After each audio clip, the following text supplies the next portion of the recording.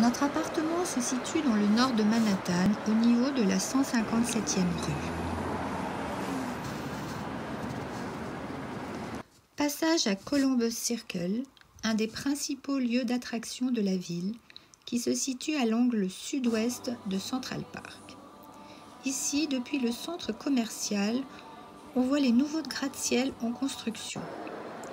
De l'autre côté, à gauche, on a Central Park. Un étourneau sonnet très fréquent à Manhattan avec les moineaux et les pigeons. Ici, un pic flamboyant,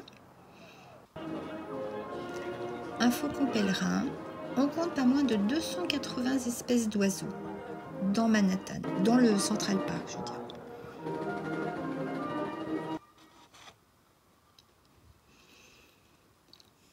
Central Park, alors c'est un parc qui mesure 4 km de long, 800 mètres de large, Ici, c'est la pelouse des moutons.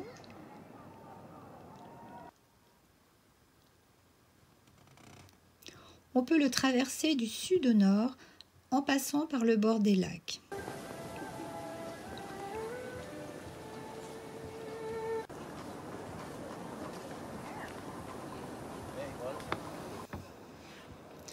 Un écureuil gris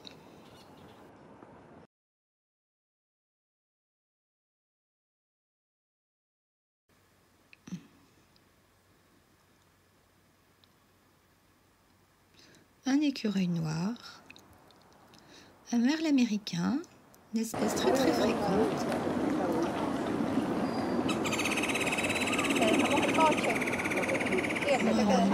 le, chant du, pic flamboyant. Un jeune pic.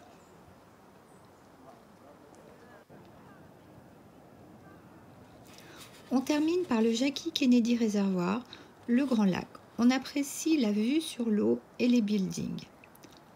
C'est le long de cette grille que Dustin Hoffman apparaissait dans Marathon Man.